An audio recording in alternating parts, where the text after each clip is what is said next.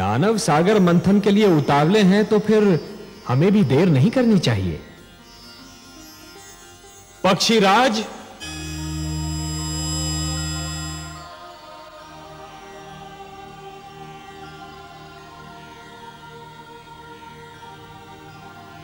आज्ञा है लक्ष्मीपति।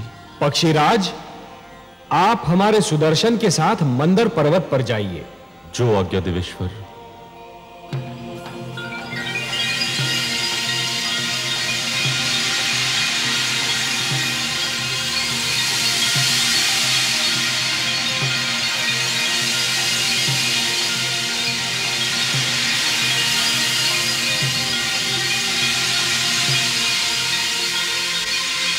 सुदर्शन। आप पक्षीराज के साथ मंदर पर जाइए और मंदर पर्वत को जड़ से काट दीजिए। और हे पक्षीराज, मंदर के जड़ से कट जाने पर आप उसे हमारे पुष्पक से बांधकर सागर तट पर ले आइए और फिर हमारे अगले आदेश की प्रतीक्षा कीजिए। मैं आपके आदेश की प्रतीक्षा करूँगा, देवेश्वर।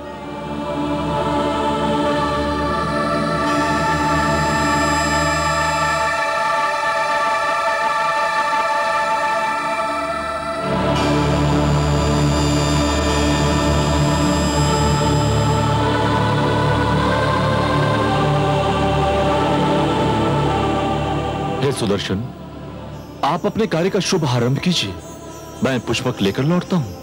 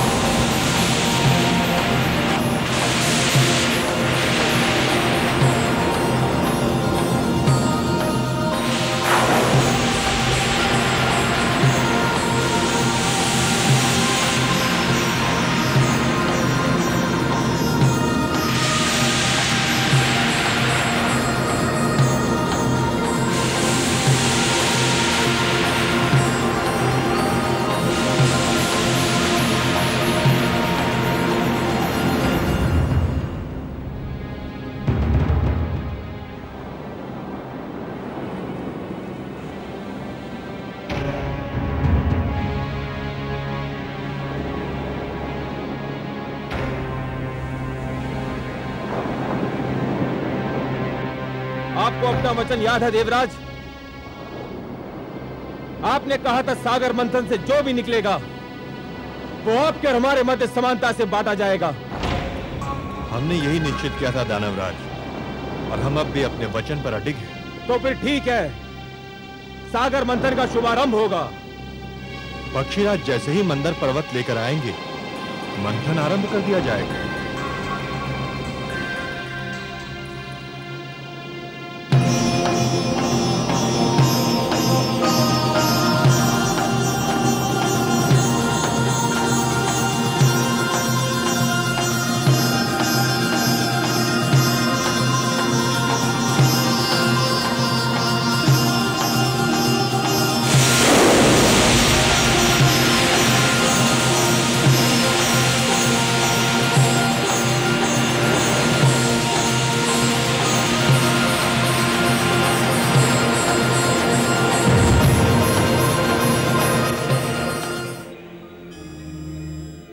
नारायण नारायण। आइए देवर्षि प्रणाम माता। प्रणाम सर्वेश्वर। प्रणाम। आपने बुलाया मुझे? हाँ देवर्षि हमें आपका सहयोग चाहिए। हे लक्ष्मी नारायण ये तो आपकी महानता है कि आप मेरी सेवा को सहयोग का नाम देते हैं। आदेश दीजिए। समुद्र मंथन होने वाला है देवर्षि। समुद्र मंथन। परंतु एक समस्या है। वासुकी नाग का प्रयोग डोरी के रूप में होना है। और मंथन के समय उसके मुख से ऐसी भयंकर अग्नि जैसी फुंकारें निकलेंगी कि जो पक्ष उसके मुख की ओर होगा वो झुलस कर मर जाएगा। ये तो सत्य है प्रभु। समस्या ये है देवर्षि कि यदि दानव मरे तो दैत्य गुरु शुक्राचार्य उन्हें पुनः जीवित कर देंगे। और यदि देवता मरे तो उनकी संख्या कम हो जाएगी और समुद्र मंथन संभव ही नहीं हो पाएगा। ये तो चिंता का विषय है देवेश्वर। इसकी ओर तो मेरा ध्यान ही नहीं हम्म, इसीलिए तो मैं ये चाहता हूँ देवर्षि कि पाला बांटते समय कुछ ऐसा हो कि वासुकी की दुम की ओर देवता हो और वासुकी के मुख की ओर दानव हो। इसीलिए मैंने आपको थोड़ा सा कष्ट दिया।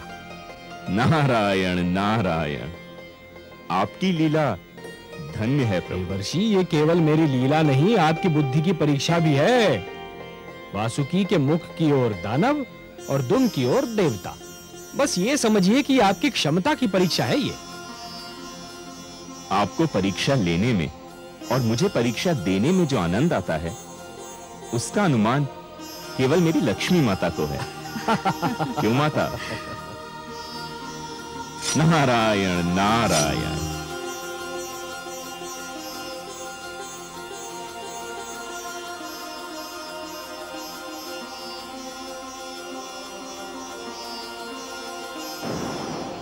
नहीं देवराज।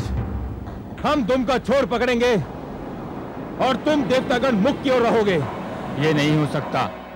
दानव पक्ष वासुकी के मुख का छोर पकड़ेगा और हम दुम की ओर रहेंगे। दानवराज ने जो कह दिया वही होगा। हमारे देवराज के निर्णय भी कोई नहीं बदल सकता। तो फिर समझ लो संधि समाप्त हो गई और समझौता भी टूट गया। नारायण नारायण। आइए देवर्षि स्वागत है।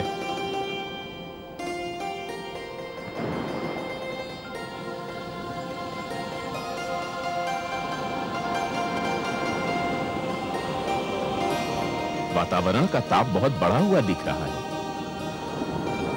किस विवाद ने ताप को बढ़ा दिया है? देवर्षि आप ही निर्णय कीजिए।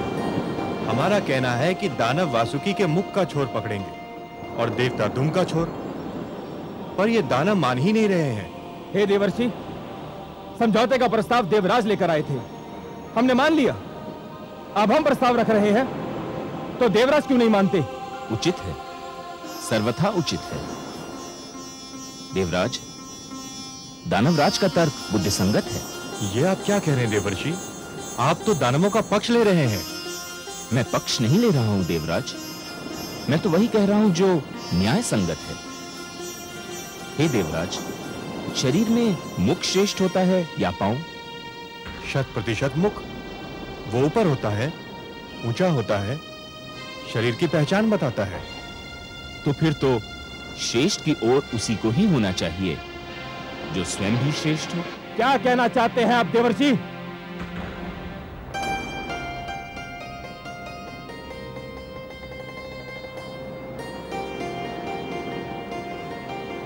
मैं ये कहना चाह रहा हूँ, दानवराज, कि जिस प्रकार शरीर में मुख श्रेष्ठ होता है, उसी प्रकार सृष्टि में देवता श्रेष्ठ हैं। इसलिए वासुकी के मुख की ओर तो देवताओं को ही होना चाहिए।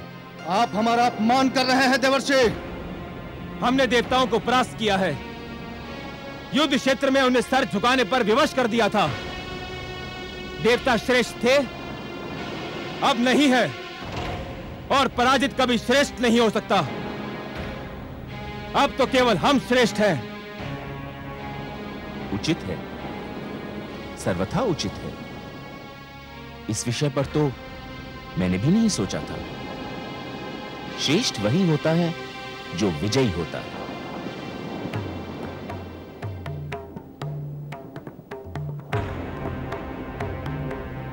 हे देवेंद्र, अब इस कटु सत्य को मान ही लीजिए कि विजयी होने के कारण दानव श्रेष्ठ हो चुके हैं।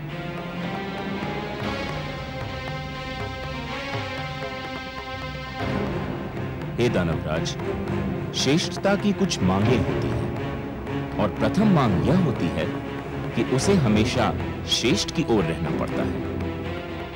यह मांग तो तभी पूरी हो सकती है जब आप वासुकी के श्रेष्ठ भाग की ओर यदि श्रेष्ठ की यही मांग है तो हम वासुकी के मुक्ति ओर का पाला स्वीकार करते हैं।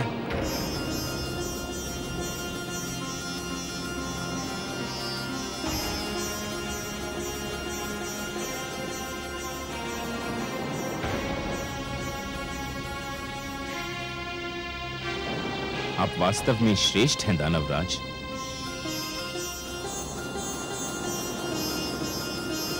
देवऋषि नारद की! देवऋषि नारद की। देवऋषि नारद की। नारायण नारायण। नारद के इस खेल से दानव थे अनजान। जीत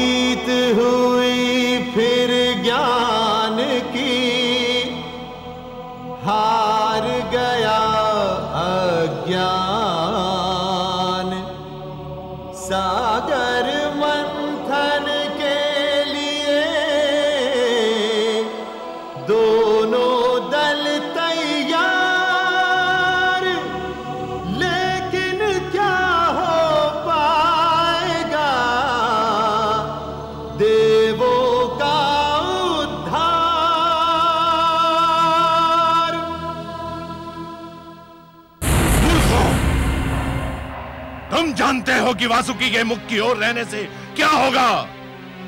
उसके मुख से ज्वाला के रूप में पुंकारें निकलेंगी और तुम सब झुलस कर रह जाओगे। देवता चतुर हैं और नारद उनसे भी अधिक चतुर। उन्होंने तुम्हें श्रेष्ठ कहकर तुम्हारी प्रशंसा कर दी और तुम उनके चाल में फंस कर रह गए।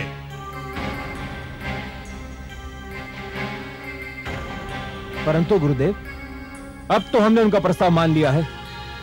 यदि अब हमने उनका निर्णय नहीं माना तो हमारे अपने लोग हमें संदेह की दृष्टि से देखने लगेंगे। भूल मेरी थी जो मैंने तुम लोगों पर भरोसा किया। मुझे स्वयं वहाँ पर उपस्थित रहना चाहिए था। अब क्या होगा गुरुदेव? बाण धनुष से निकल चुका है। जाओ जाकर मंथन आरंभ करो। मुझे स्वयं देवताओं की चतुराई दृष्टि रखनी है। जाओ। जो आज्ञा जो आज्ञा गुरुदेव।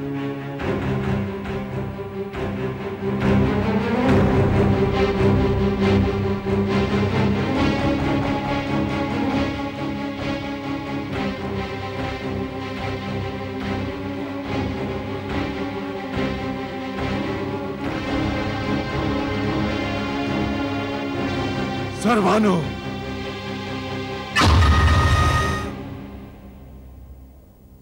आज्ञा गुरुदेव। सर्वानु समुद्र मंथन होने जा रहा है। मुझे चिंता है कि देवता जितने चतुर हैं दानव उतने ही मूर्ख। ना जाने मैं कब से उनकी मूर्खता को चतुराई में बदलने की चेष्टा कर रहा हूँ। मुझे विश्वास है कि देवता अमृत के बंटवारे में भी चतुराई अवश्य दिखाएँगे। तो फिर आपका मेरे लिए क्या आदेश है? मैं ये कार्यभार तुम्हें सौंपता हूँ। तुम ध्यान रखोगे कि अमृत के बंटवारे में कोई पक्षपात ना हो। जितना अमृत देवताओं को मिले उतना ही दानवों को आप निश्चिंत रहिए गुरुदेव। मेरे होते हुए कोई असमानता नहीं हो सकती।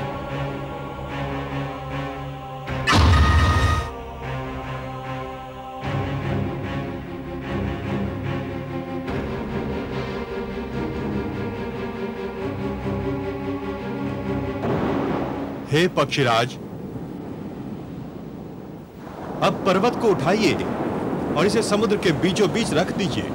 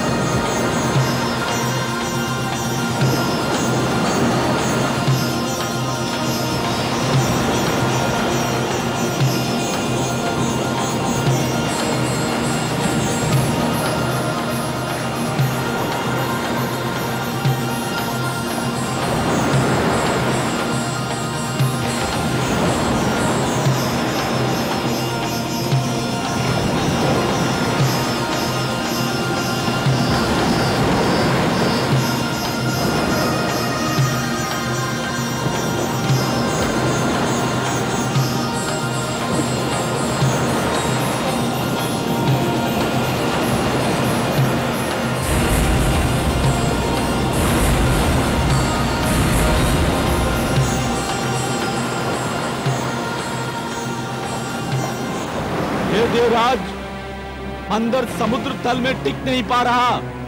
यदि इसे समुद्र के नीचे कोई ठोस वस्तु ना मिली तो ये डूब जाएगा। इसे कोई ठोस आधार चाहिए। तो फिर मंथन कैसे होगा देवराज? कोई उपाय तो करना ही होगा। हम इतने बड़े आकार की कोई ठोस वस्तु कहाँ ढूँढने जाएँगे जिस पर मंदराचल टिक सके? मेरी तो बुद्धि काम नहीं करती। हमें कोई ठोस चट्टान तो ढूंढनी ही होगी। ये जटिल कार्य तो आप देवताओं को ही सुहाएगा। हमें अनुमति दीजिए। दानवराज ठीक कह रहे हैं। हमारे पास नष्ट करने को समय नहीं है। चलो दानवीरो हो चुका सागर मंथन। ठहरिए दानवराज। देवराज हम ठहर कर क्या करेंगे? मंथन तो संभव नहीं है। समुद्र मंथन यदि इतना सरल होता अमृत का मिलना यदि इतना सहज होता दानवराज तो यह कार्य कब का हो चुका होता? परंतु जैसे नागमणि को प्राप्त करने के लिए जोखिम झेलना पड़ता है वैसे अमृत प्राप्त करने के लिए कठिनाइयों से तो जूझना ही होगा। परंतु इस कठिनाई का तो कोई उपाय दिखाई नहीं देता। उपाय है। हे देवराज क्षीर सागर वासी भगवान विष्णु के अतिरिक्त और कोई नहीं जो हमारी सहायता कर सके। हाँ देवराज केवल वही हम इस संकट से उबार सकते हैं। हमें लक्ष्मी नारायण से सहायता मांगनी चाहिए। हमें अपने लक्ष्मीपति की स्तुति करनी चाहिए।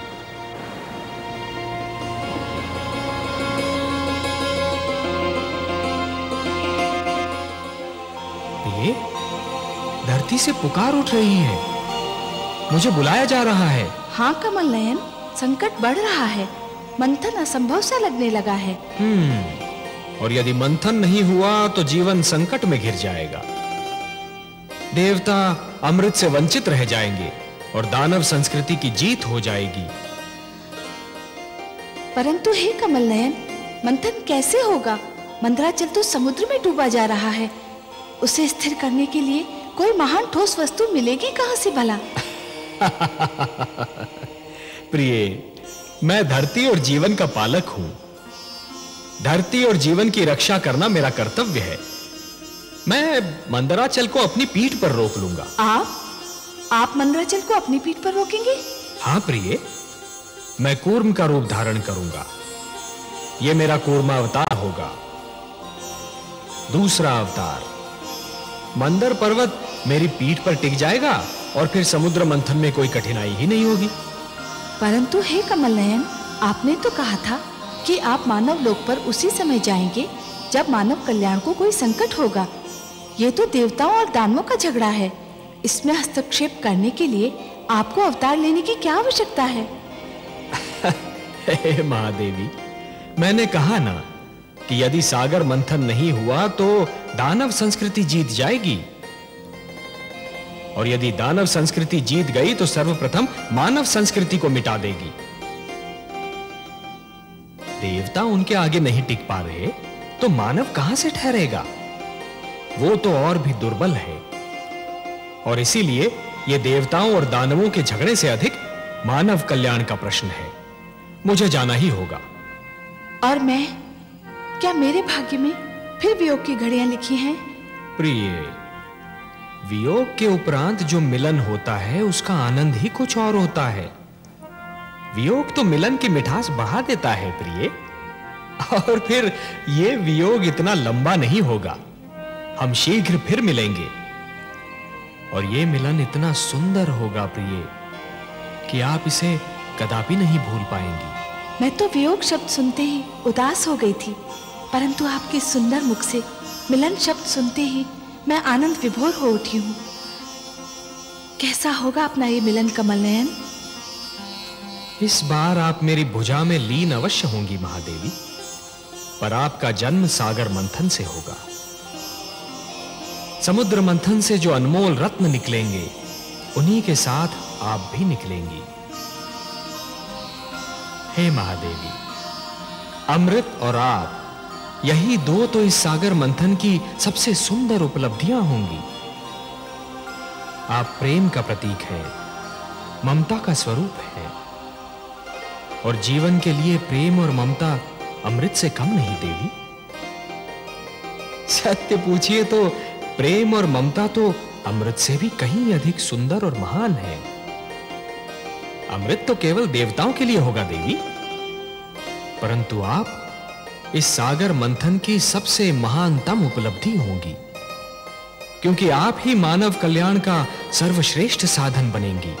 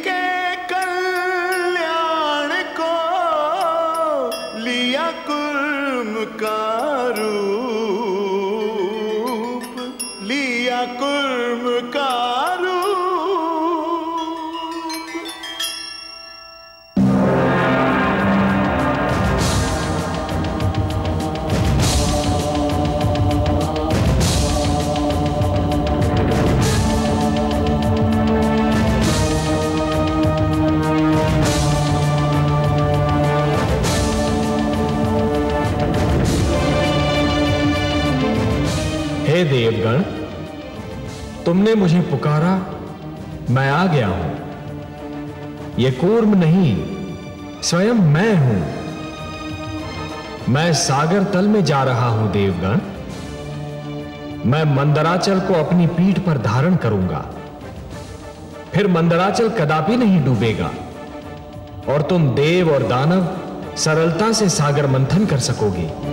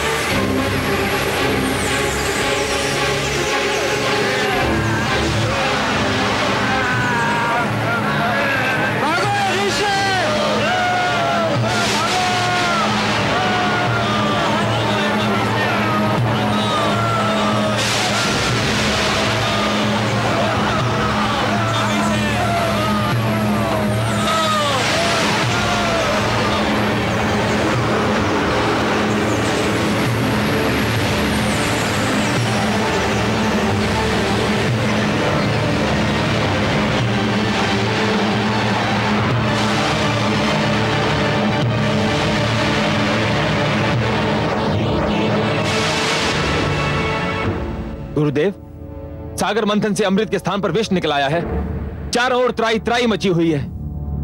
देवता तो कहते थे कि सागर मंथन से जीवनदायक अमृत मिलेगा परंतु सागर तो मृत्यु बांट रहा है गुरुदेव। इसी कारण हम वहाँ से भाग आए। ऐसे में सागर मंथन से क्या लाभ? हम अब सागर मंथन में भाग नहीं लेंगे।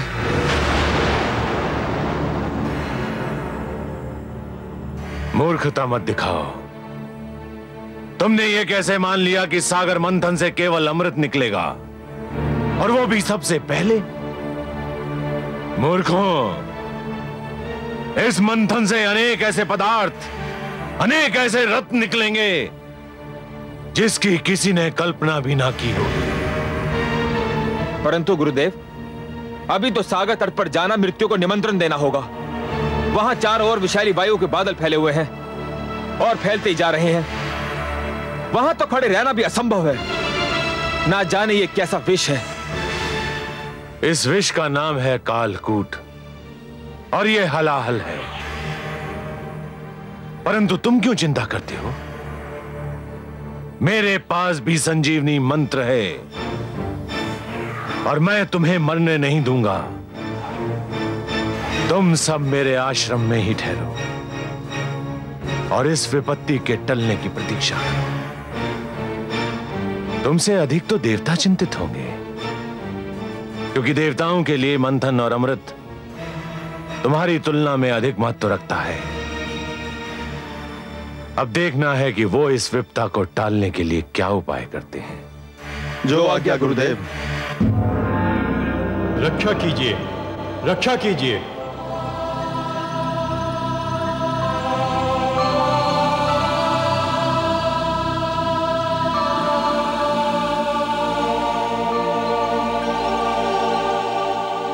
रक्षा कीजिए हे त्रिलोकीनाथ, आपकी सृष्टि संकट में है।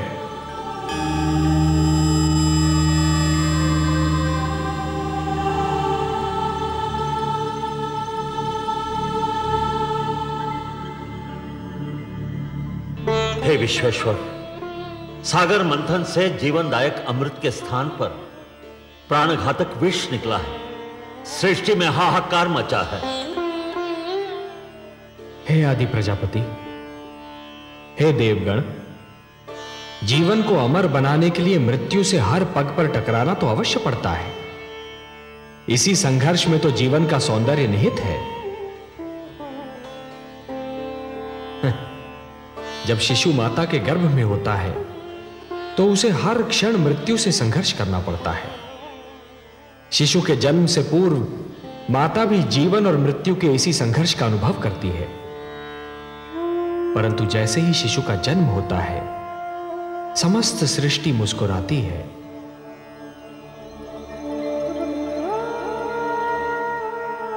यदि अमृत की प्राप्ति इतनी सरल होती देवगण तो जीवन और मृत्यु का यह संघर्ष और उसकी यह कथा कब की समाप्त हो चुकी होती? परंतु हे जगदीश्वर समुद्र में यह विष आया कहाँ से? यह तो आदि प्रजापति श्री ब्रह्मा की संतान मानव का चमत्कार है। वो जिस वस्तु को भी अपने लिए उपयोगी नहीं समझता उसे समुद्र की गहराइयों में फेंक देता है। वो ये नहीं सोचता कि जो वस्तु उसके लिए हानिकारक है वो समुद्र के प्राणियों के लिए भी हानिकारक होगी। मैंने तो जल मनुष्य की आवश्यकताओं की पूर्ति के लिए बनाया था। सत्य कहा आपने हे ब्रह्मा। जल का तो अर्थ ही है जीवन। परंतु मनुष्य ने उसे व्यर्थ और हानिकारक वस्तुओं का भंडार बना दिया है। उसी प्रदूषण ने बढ़ते बढ़ते विष का रूप धारण कर लिया है। उसे एक न एक दिन समुद्र के गर्भ से बाहर तो आना ही था। हे लक्ष्मी नारायण क्या यह नहीं हो सकता कि यह विष जहाँ से आया है, इसे उसी समुद्र में वापस फेंक दिया जाए? नहीं, देवराज, नहीं। यह समस्या का समाधान नहीं है। यह तो समस्या से भागने का एक असफल प्रयत्न है। यदि इस विष को पुनः समुद्र के गर्भ में फेंक दिया गया तो वह दृष्टि से ओझल अवश्य हो जाएगा, पर उसके अस्तित्व का अंत नहीं होगा। वो कल फिर समुद्र के गर्भ से बाहर निकलेगा। किसी और पीढ़ी के लिए संकट बनेगा। देवराज संकट का समाधान अगली पीढ़ी के लिए छोड़ देना स्वार्थ है, कुनीति है। हे सर्वेश्वर, सागर मंथन आपके आदेश के कारण आरंभ हुआ था। अमृत की प्राप्ति हमारे लिए नितांत आवश्यक है, परंतु इस विष के कारण मंथन स्थगित हो चुका है। आपका आदेश अधूरा रह गया है। हम मंथन करके आपके आदेश का पालन करना चाहते हैं, परंतु यह विष बाधा बन गया है। देवगण, ये ये बहुत जटिल समस्या है। और इसका समाधान केवल भोलेनाथ कर सकते हैं। मैं देख रहा हूँ कि इस संकट का निवारण केवल उन्हीं के पास है। चलिए, मैं भी आप सबके साथ उनकी सेवा में चलता हूँ।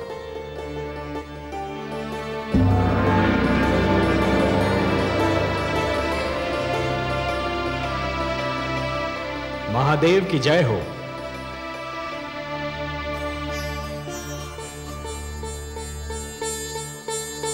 मेरे अहोभाग्य आज कैलाश धन्य हो गया। आज कैलाश को त्रिमूर्ति के ही नहीं समस्त देवताओं के भी दर्शन हो रहे हैं। मैं आप सबको प्रणाम करता हूँ। कैलाश पर आप सबका स्वागत करता हूँ। हे देवाधिदेव हे महादेव सृष्टि पर संकट की छाया गहरा रही है। संकट? हाँ भोलेनाथ। संहार करता तो आप हैं। परंतु आज आपकी इच्छा के बिना मानव जीवन पर संहार का प्रारंभ हो गया है। देवता और दानव मिलकर अमृत की प्राप्ति के लिए समुद्र मंथन कर रहे थे।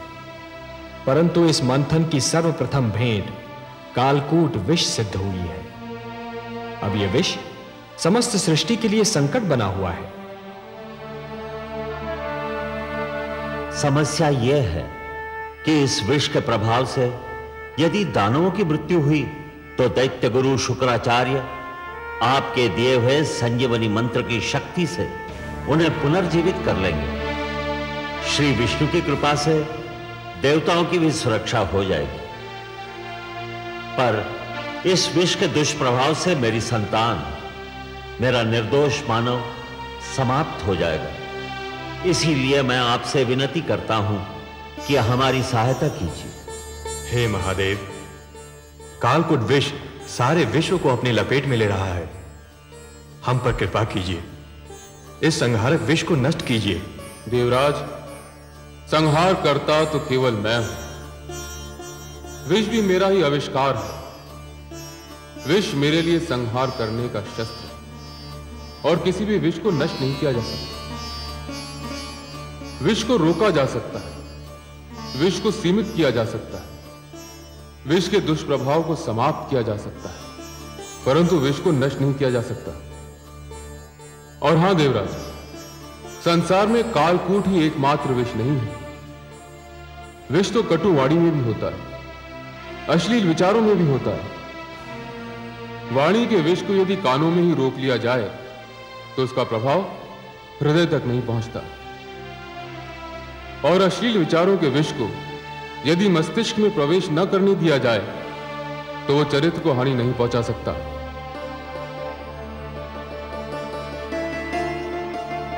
जहाँ अमृत होता है, वहाँ विष का होना तो स्वाभाविक है। परंतु आप धन्य है, भोलेनाथ, आप धन्य है। कालकूट विष का प्रभाव तो आपके सुंदर तर्क ने ही कम कर दिया। अब शेष समस्या का समाधान भी आप ही निकालेंगे। आपने सत्य कहा कि विष को नष्ट तो नहीं किया जा सकता, परंतु उसे रोका अवश्य जा सकता है। और यह कार्य केवल आप ही कर सकते हैं देवाधिदेव हे त्रिलोकेश्वर, आप सब चलकर मेरे पास आए हैं। यहाँ आकर आपने मुझ पर कृपा की। आपके आदेश का पालन करके मुझे हर्ष होगा। मुझे कालकूट को कहीं रोकना होगा। उसकी सीमा का निर्धारण करना होगा। जगत के कल्याण के लिए यह कार्य मैं अवश्य करूँगा। आप चिंता ना करें। मैं आपके साथ सागर तट पर चलता हूँ।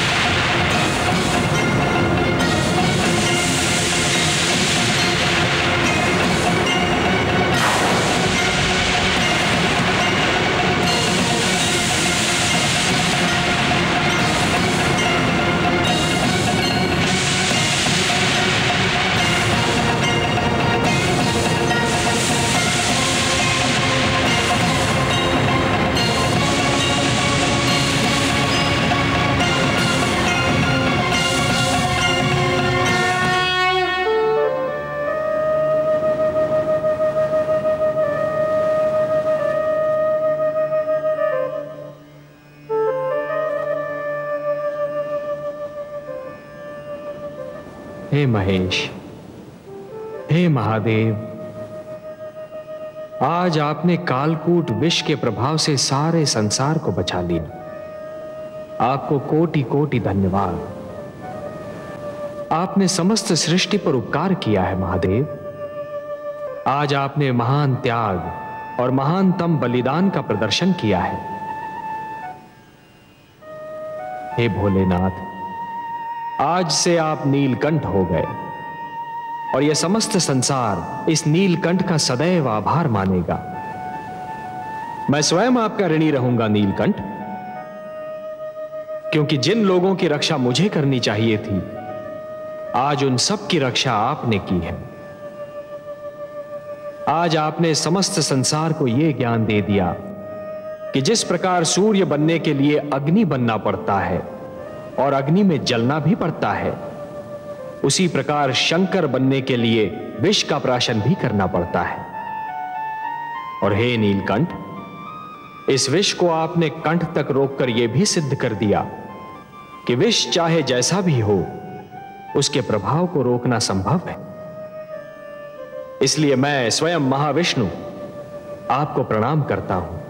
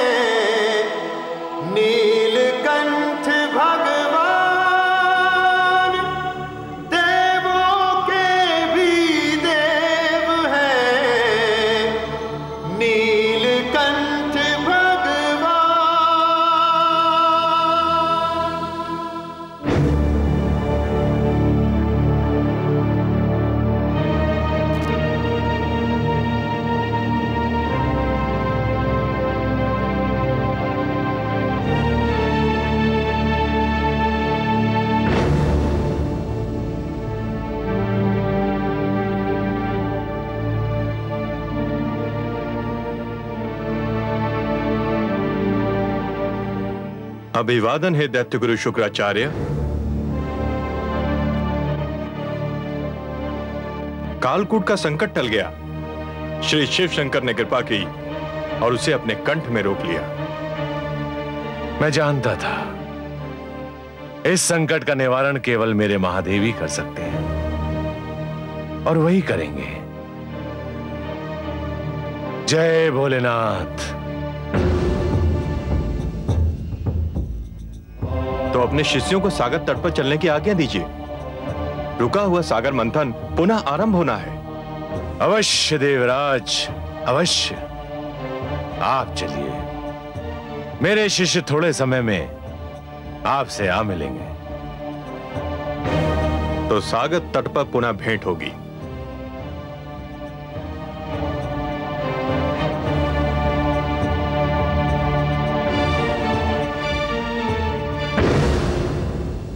गुरुदेव, क्या मैं पुनः जाना होगा?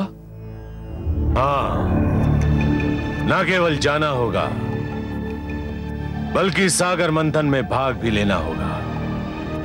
अमृत कितना महत्वपूर्ण है, ये केवल मैं जानता हूँ। देवराज इंद्र की बात भूल गए तुम? संजीवनी मंत्र जितना तुम्हारे लिए आवश्यक है, अमृत उतना ही मेरे लिए आवश्यक है।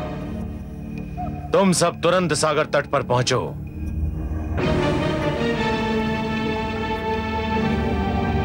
स्वर भानु, तुम मेरे शिष्यों के साथ जाओ और मेरे आदेश को ध्यान में रखकर उनकी हर क्रिया पर दृष्टि रखो। जो आज्ञा, गुरुदेव।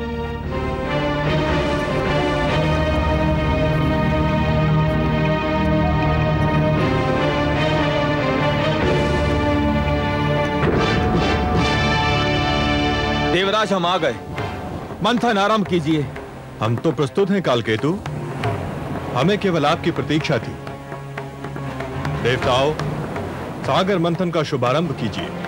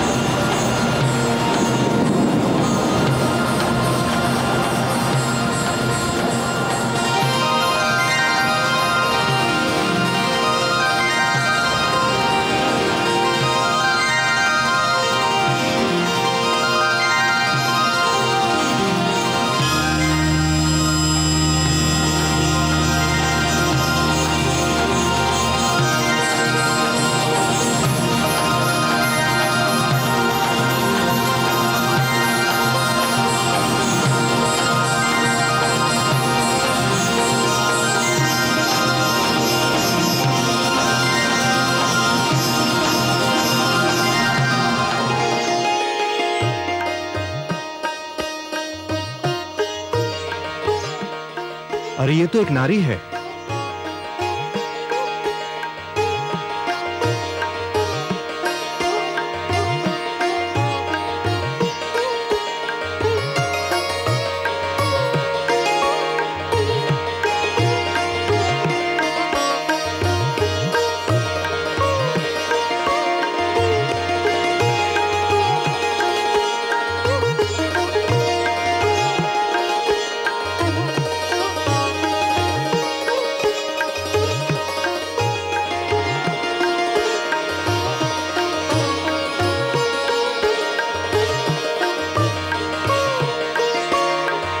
हर्षल इतनी सुंदर नारी कभी देखी थी पहले? नहीं दानवराज ये तो कोई स्वर्ग की अप्सरा दिखाई पड़ती है। मूर्ख हो तुम। स्वर्ग की अप्सराएँ तो इसके पाँव की धूल के समान होंगी। तनिक इसका रूप तो देखो। मुख है कि पूनम की रात्रि का चंद्रमा। आँखें हैं या मद की कटोरी। कपोल है कि लाल कमल के पुष्प। अधरों की लालिमा उषा को लजा रही है। कंधों पर काले केशों की घटा लहरा रही है। मुस्कुराती है तो हृदय पर बिजली गिराती है। चलती है तो पुष्पों से भरी डाली लचक जाती है। हर्षल, इसने तो मेरा मन विचलित कर दिया है। तो फिर आप घोषणा कर दीजिए महाराज। कि इस सुंदरी पर केवल आपका ही अधिकार होगा। इस सुंदर नारी पर हमारा अधिकार है देवराज।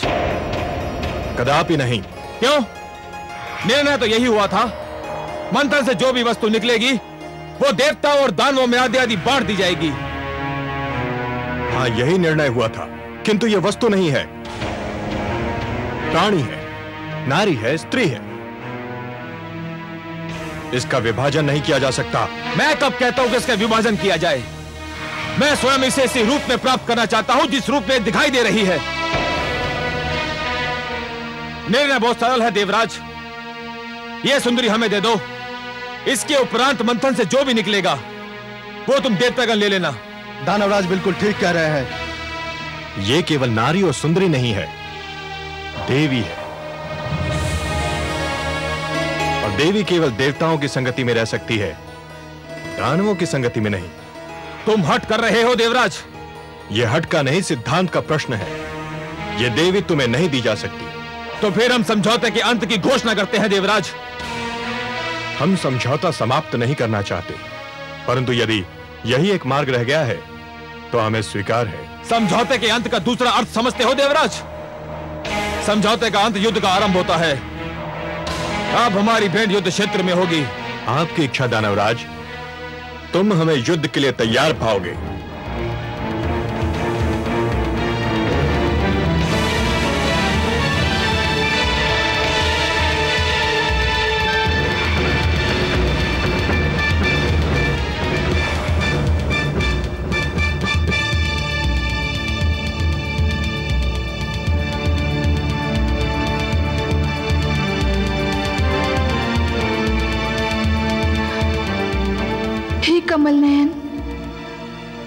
पद्मनाभ कहाँ हैं आप? मुझ विरह की मारी पर कृपा कीजिए। मेरी आँखें आपके दर्शन को तरस रही हैं। मेरी आत्मा आपको पुकार रही है। दर्शन दीजिए भगवान। मेरी आत्मा की पुकार सुन लीजिए।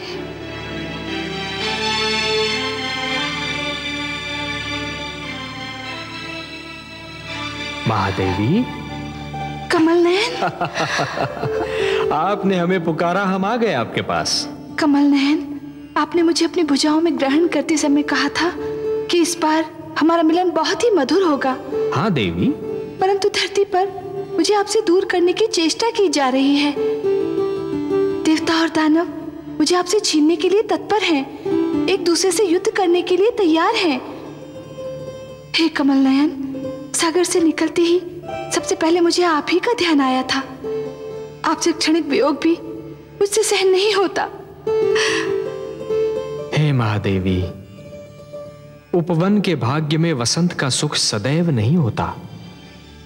उसे पतझड़ का दुख भी झेलना पड़ता है। उसी प्रकार जीवन में भी मिलन का आनंद सदा के लिए नहीं छाया रहता, देवी। वियोग की घड़ियाँ भी आती हैं। तो कब बीतेंगी यह विरह की घड़ियाँ?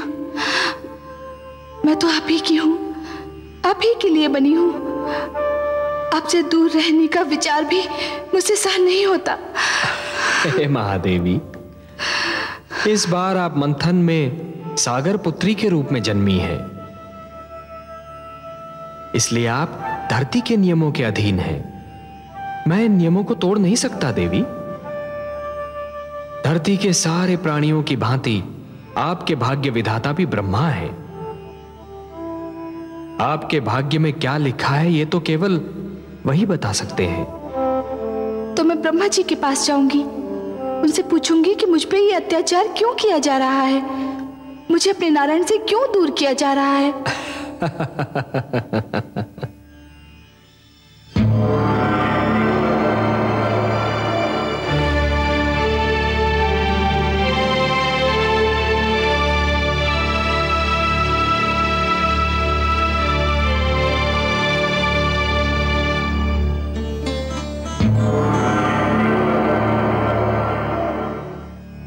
ब्रह्मा। हे आदि प्रजापति, हे विधाता, मेरा जीवन कांटों की शैया बन गया है। विरह की अग्नि मेरे तन मन को फूंक रही है। हे विधाता, आप तो जानते ही हैं, मेरा मन नारायण के चरण कमल में वास करता है। उनकी भुजा ही मेरा घर है। उनके सुंदर मुख को निहारना मेरी पूजा है। उनसे दूर बीता एक पल मेरे लिए युग के समान है। फिर मुझे उनसे दूर क्यों किया जा रहा है?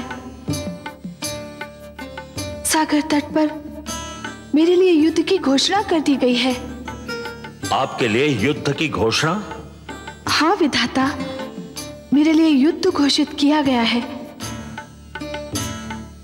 देवता और दानव मेरे लिए झगड़ रहे हैं। देवता चाहते हैं कि मैं उनकी संगति में रहूँ और दानवों की इच्छा है मैं उनकी संपत्ति बन जाऊँ। हे विधाता, आपने मेरे भाग्य में क्या लिख दिया जो ये अत्याचार मुझ पर हो रहा है? हे देवी अवश्य ही यह अत्याचार है। परंतु मैंने आप ही के लिए नहीं हर नारी के लिए एक नियम बनाया है। वो नियम यह है कि नारी पर उसकी इच्छा जाने बिना कोई अपना अधिकार नहीं जमा सकता। पर वे जमा रहे हैं अधिकार। वे भ्रम में हैं। वे मेरे नियम को तोड़ रहे हैं। मैं ऐसा नहीं होने दूँगा। चलिए। मैं आपके साथ चलता हूँ। उनका भ्रम दूर करता हूँ।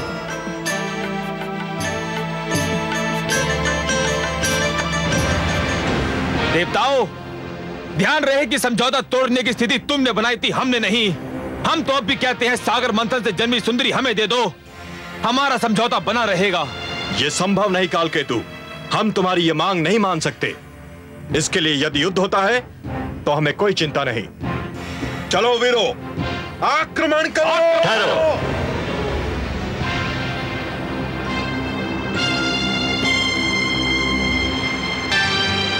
दोनों पक्ष इस नारी को प्राप्त करने के लिए झगड़ रहे हैं। पर किसी पक्ष ने इस नारी से यह पूछने का कष्ट किया कि स्वयं इसकी इच्छा क्या है? यह नारी की इच्छा का प्रश्न नहीं है ब्रह्मदेव। यह समझौते के सिद्धांत के आदर का प्रश्न है। नहीं ये हर स्त्री के अधिकारों का प्रश्न है। अपने लिए किसी को स्वीकार या अस्वीकार करने का निर्णय केवल नारी कर सकती है। स्त्री कोई वस्तु नहीं, जिसे बांट लिया जाए। समुद्र मंथन से निकली ये नारी मेरी सहोदरा है, मेरी बहन है। ये सागर पुत्री किसे स्वीकार करेगी, इसका अधिकार मैं इसी को देता हूँ। आज मैं एक नई प्रथा के शुभारंभ की घोषणा करता हूँ। यह स्वयंवर की प्रथा होगी। स्वयंवर? स्वयंवर। हाँ। स्वयंवर। जो हर नारी का अधिकार होगा अपनी इच्छा से अपनी पसंद का वर चुनने का अधिकार इस सागर पुत्री के हाथों में एक पुष्पमाला होगी। यह पुष्पमाला इसके मन की इच्छा की प्रतीक होगी। फिर यह सागर पुत्री जिसके गले में यह माला डाल देगी। समझा जाएगा? उसी को इसने अपना वर चुन लिया। मैं समस्त देवता और दानव समाज को इस सागर पुत्री के स्वयंवर समारोह में भाग लेने का निमंत्रण देता हूँ।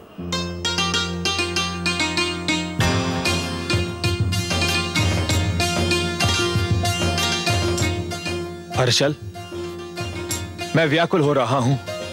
क्यों दानवराज? न जाने ये चंद्रमुखी ये मृग नयनी किसे चुनेगी?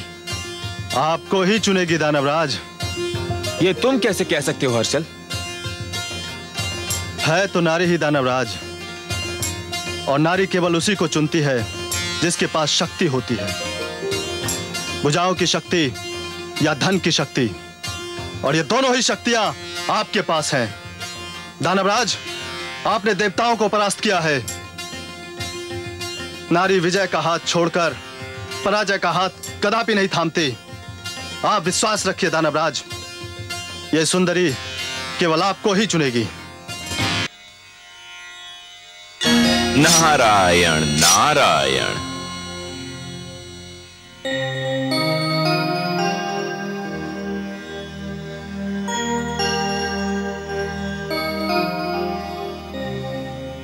माते जिसके अधरों की मधुर मुस्कान सारे संसार को आनंद का संदेश देती है, जिसके सुंदर मुखड़े का ध्यान ही प्राणियों के मन में उजाला कर देता है। आज स्वयं वही दुख और चिंता की मूर्ति बनी हुई है? किस चिंता ने आपके सुंदर मुख को अपनी छाया से ढक रखा है, माते? मैं बहुत दुखी हूँ, देवर्षि। बहुत चिंतित बहुत हताश।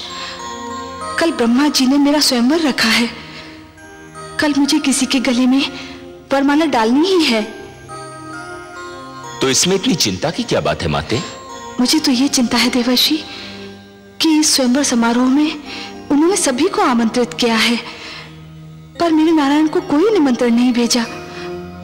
मैं मैं तो उनके अतिरिक्त किसी और के गले में वरमाला डालने की सोच भी नहीं सकती।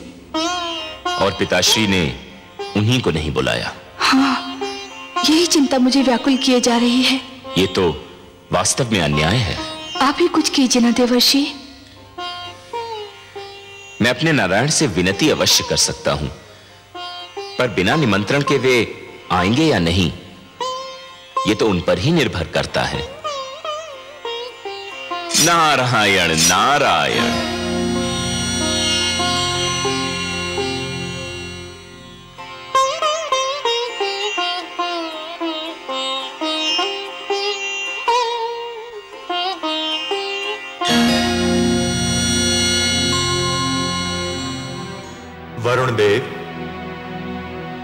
चंद्रदेव नहीं आया अभी तक। संध्या की बेला हो गई है। बस उदय होने ही वाले होंगे।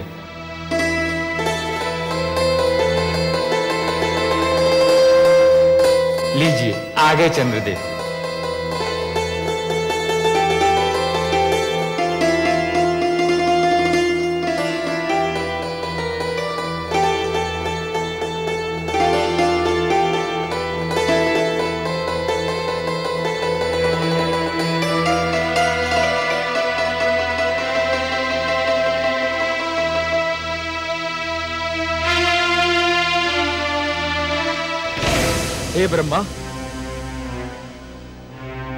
मेरी समझ में नहीं आ रहा क्या कारण समय को नष्ट किया जा रहा है। जिन दानवर देवताओं को आमंत्रित किया था, वे सब तो आ चुके हैं। अब देर किस बात की? स्वयंवर आरंभ कीजिए। हे अतिथिगण, आज सृष्टि में एक नई प्रथा की नींव डाली जाने वाली है, जिसका नाम स्वयंवर है।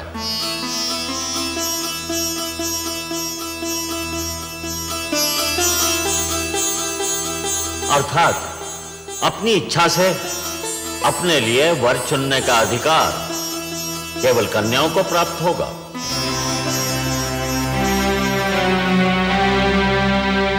सागर पुत्री के हाथों में जो पुष्पमाला है,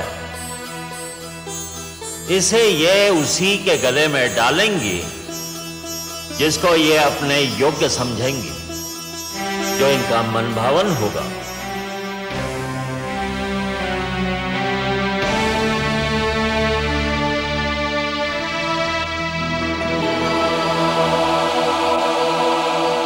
सागर पुत्री, आपको यह माला यहाँ उपस्थित अतिथियों में से किसी एक के गले में डालनी ही होगी। और है अतिथिगण, आप भी जान ले, सागर पुत्री के चुनाव को कोई चुनौती नहीं दे सकता।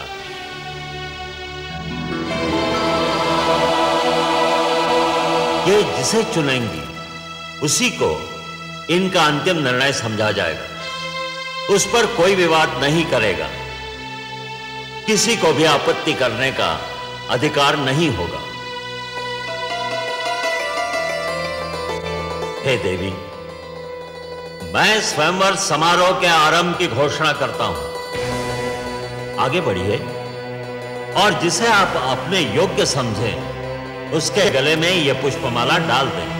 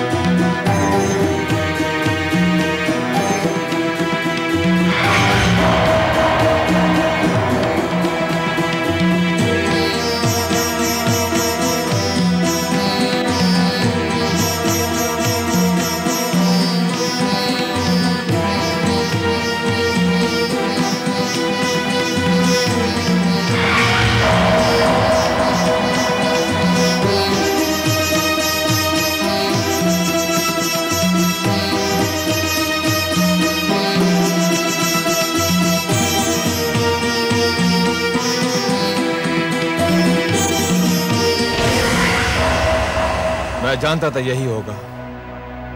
अब तो और कोई शेष नहीं रह गया है। सुंदरी, डाल दो ये पुष्प माला मेरे गले में। और सदा के लिए मेरी हो जाओ।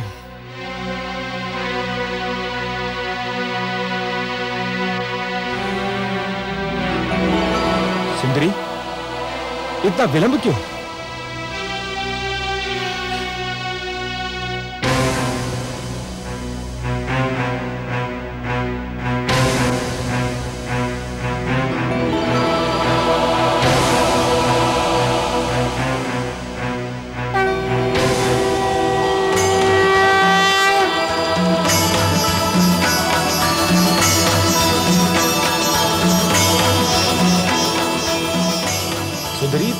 इतना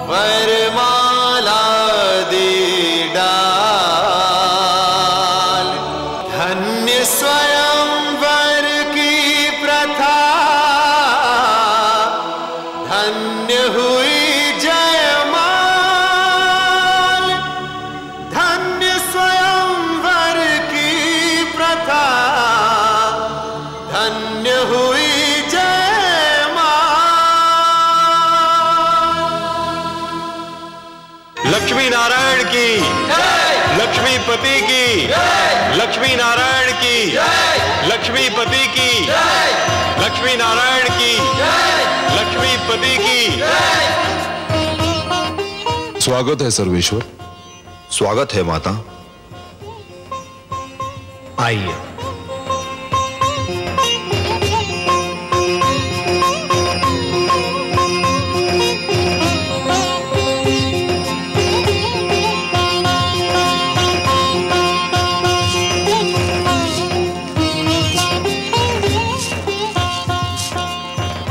हमने आपसे कहा था ना महादेवी? कि इस बार हमारा मिलन बहुत मधुर होगा।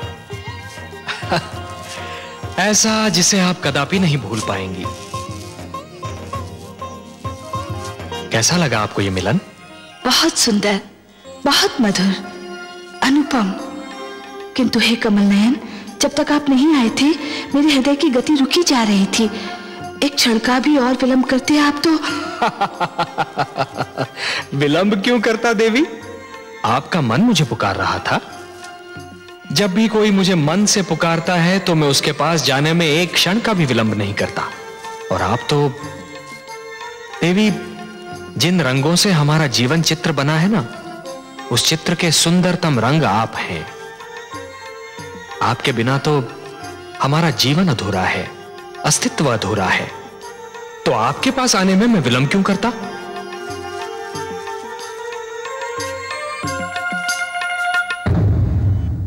मैं माँ हूँ। धरती माँ। श्री विष्णु ने अपना वचन निभाया। सचमुच माता लक्ष्मी से इस बार उनका मिलन इतना अधीर था कि स्वयं मेरी आँखों में हर्ष के आँसू छलकने लगे। दानव एक बार फिर अपनी हार पर क्षुब्ध होकर रह गए। वे शायद इसके बाद मंथन पर भी तैयार न होते।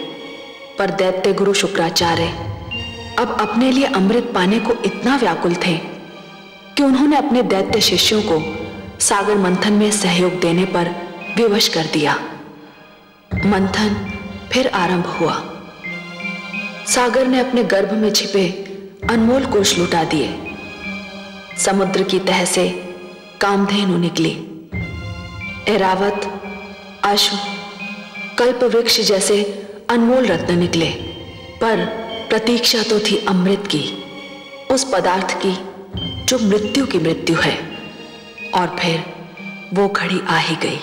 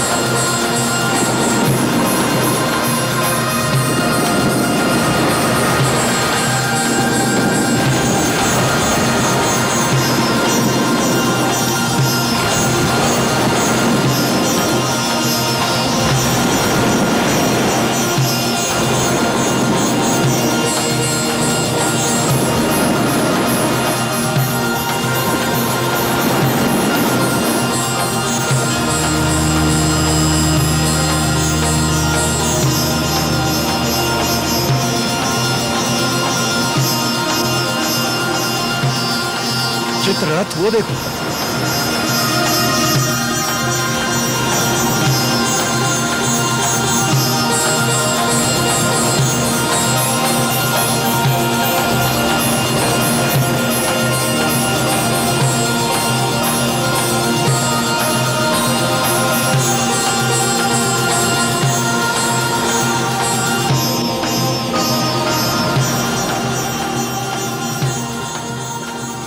कलश में अवश्य ही अमृत होगा। अमृत?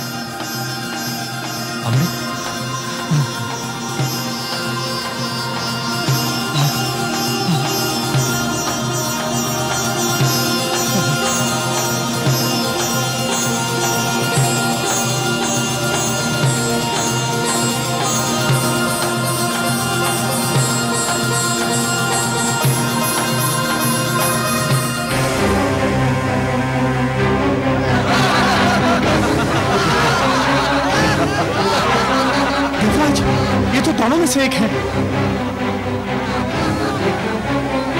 हमारे साथ धोखा हुआ है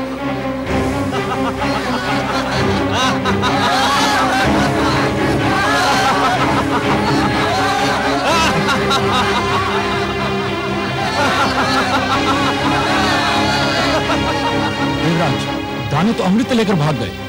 अब तो संजीवनी मंत्र उनके गुरु के पास है और अमृत उनके हाथों में। यह तो सर्वनाश हो गया देवराज। हमारे साथ भयंकर छल हुआ है। अब क्या होगा?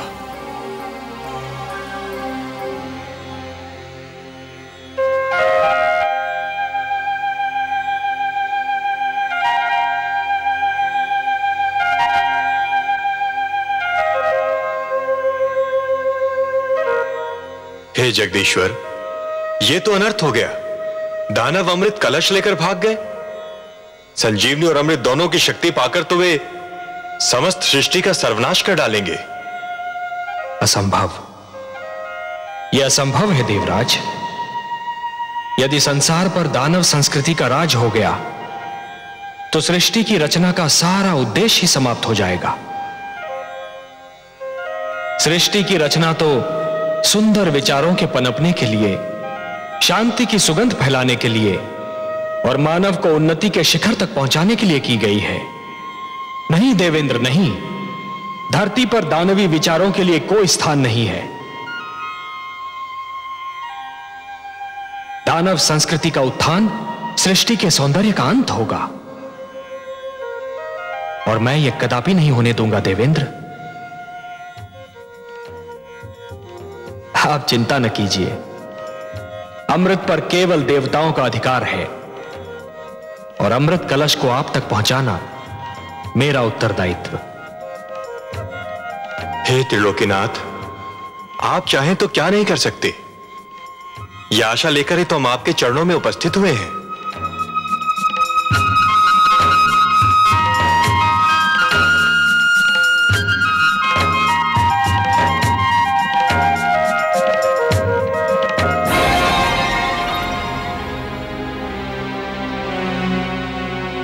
स्वर भानु, हम तुम्हारे आभारी हैं।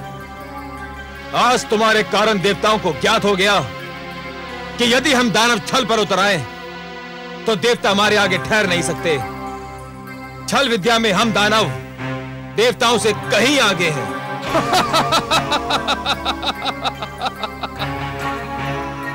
मुझे तो गुरुदेव ने भेजा ही इसी उद्देश्य से था कि मैं अमृत को देवताओं के हाथों में ना पड़ने दूँ।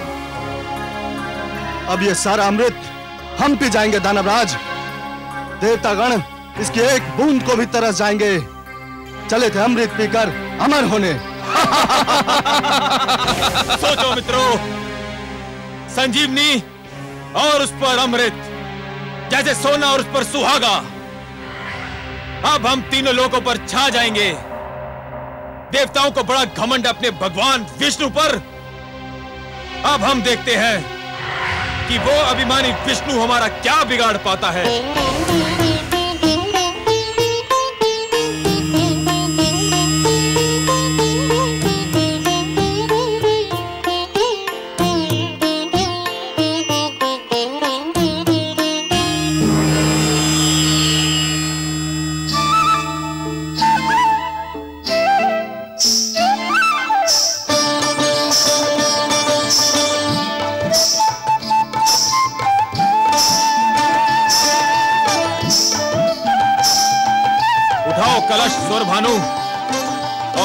का वितरण आरंभ करो।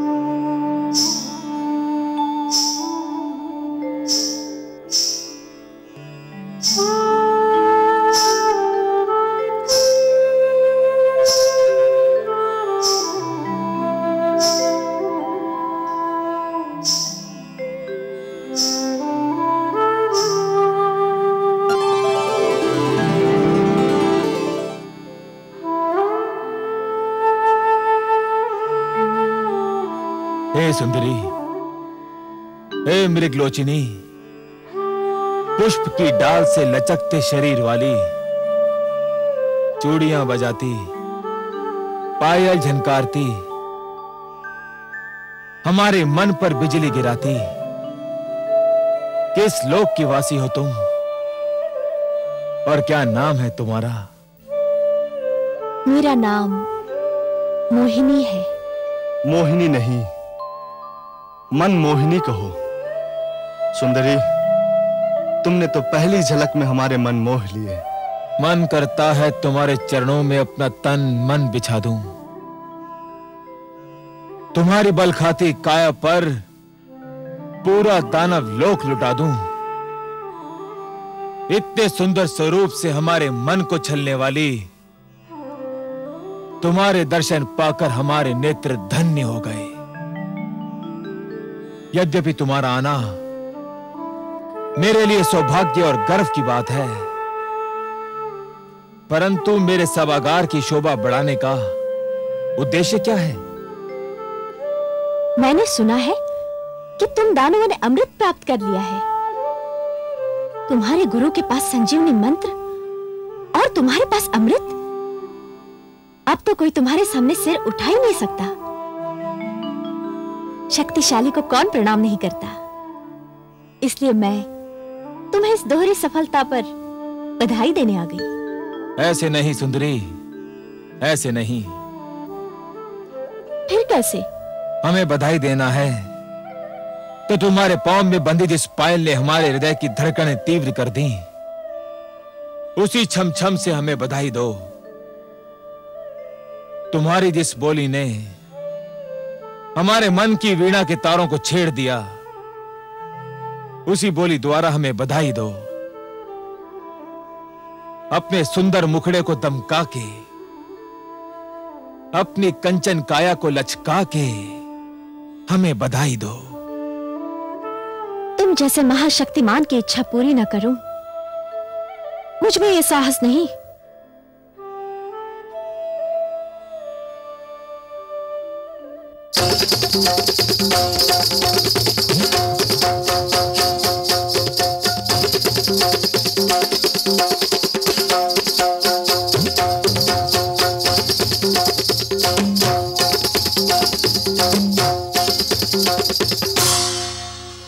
Ah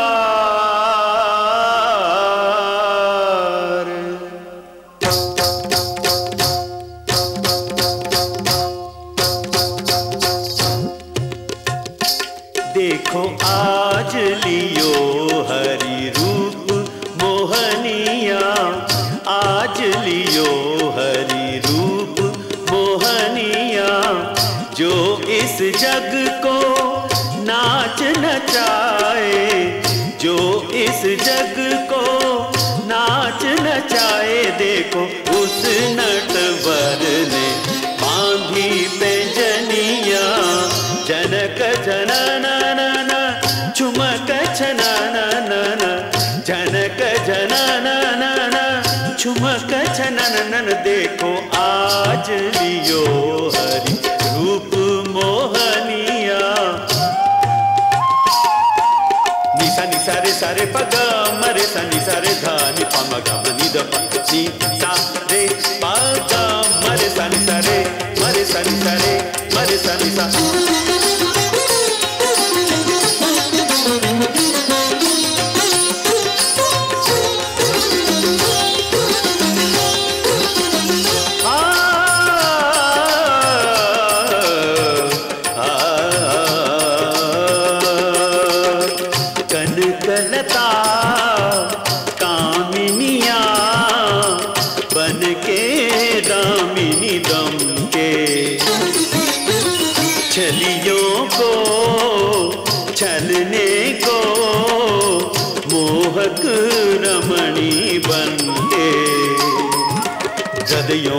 व्याकुल कर मदमाते नैनन से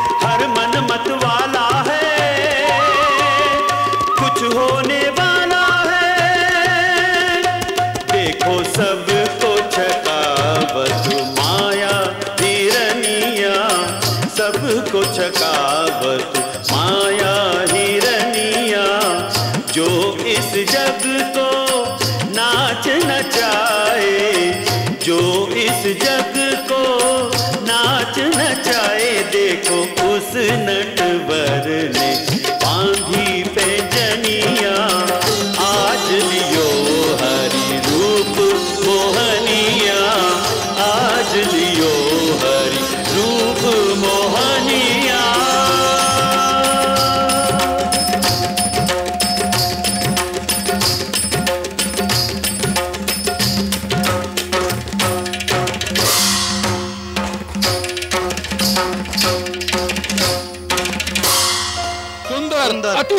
सुंदर। हे सुंदरी, अमृत पाकर हम बहुत प्रसन्न थे। तुम्हारा ये रूप, तुम्हारा ये छल बल, तुम्हारी ये मन को गुदगुदाती मुस्कान, किसी अमृत से कम नहीं। यदि तुम ये अमृत हमें अपने हाथों से पिला दो तो इसकी मिठास और भी बढ़ जाएगी। तुम्हारे स्पर्श की मिठास अमृत में घुल जाएगी तो इसका स्वाद और भी बढ़ जाएगा। मैं आपकी आज्ञा कैसे टाल सकती हूँ दानवराज? परंतु परंतु क्या? हे दानवराज जिस प्रकार धूप बिना छांव के महत्ता नहीं होती दिन बिना रात्रि सुहानी नहीं लगती उसी प्रकार आपकी सभा भी देवताओं बिना सूनी लग रही है। देवताओं बिना? भूल गए? सागर मंथन में वो आपके सहयोगी थे? परंतु वे हमारे शत्रु हैं। हम उनको क्यों बुलाएँ? हे दानवराज आप उन्हें इसलिए बुलाएँ कि वे छोटे आप महान हैं। वे अन्यायी हैं आप न्यायप्रिय हैं वे छलिए हैं पर आप निश्चल हैं। न्याय कहता है कि इस अमृत पर उनका भी अधिकार है। निश्चलता कहती है कि आधा अमृत आप पिए और आधा वे। महानता कहती है कि छोटों को भुला देना भी छोटापन है।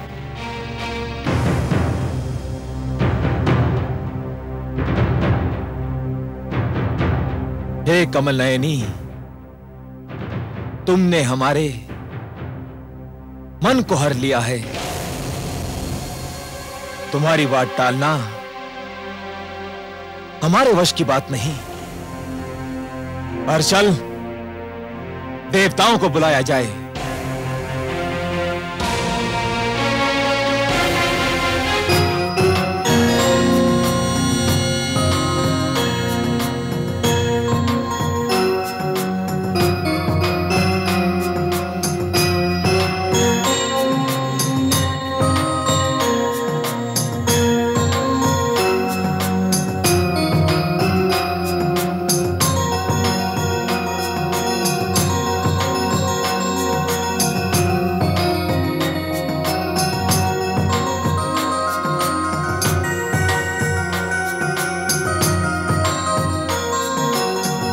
सुंदरी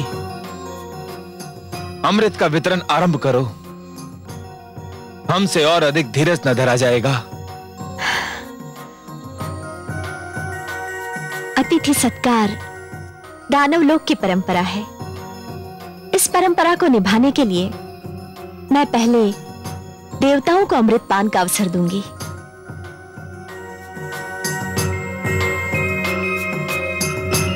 जैसे तुम्हारी इच्छा।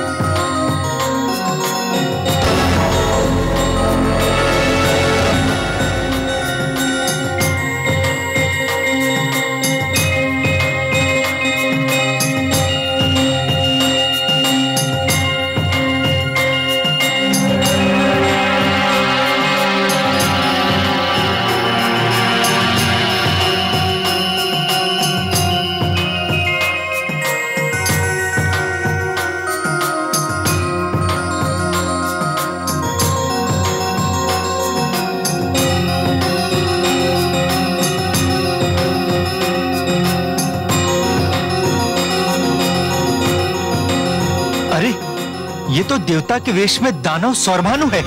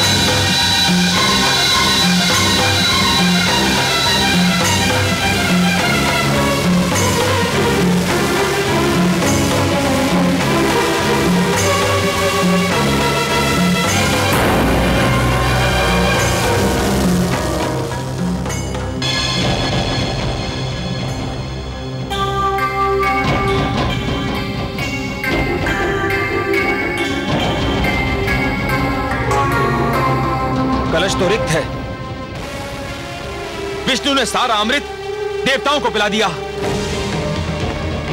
छल महाछल विष्णु ने एक बार फिर हमसे छल किया। हमें मोहिनी बनकर ठग लिया। विष्णु! सावधान! मैं यहाँ हूँ काल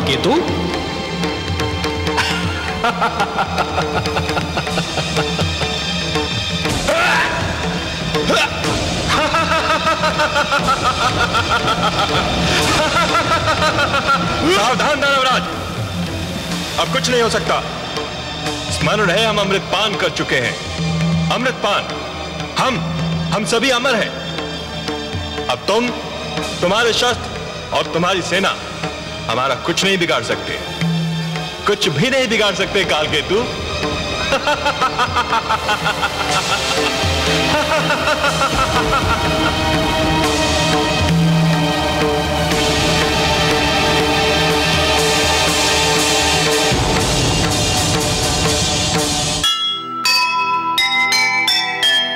एक नहीं उसकी चली। हारा फिर एक बार।